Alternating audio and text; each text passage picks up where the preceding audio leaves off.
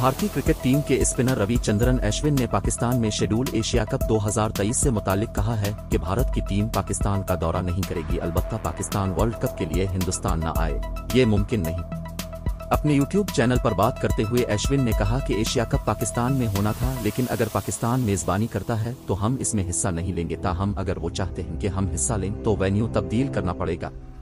भारतीय स्पिनर ने कहा, हमने कई बार देखा है कि पाकिस्तान मना कर देता है कि नहीं अलिफागे तो हम भी नहीं आएँगे, लेकिन वर्ल्ड कप खेलने पाकिस्तानी टीम भारत आएगी। मुझे नहीं लगता ये मुमकिन है कि पाकिस्तान न आए।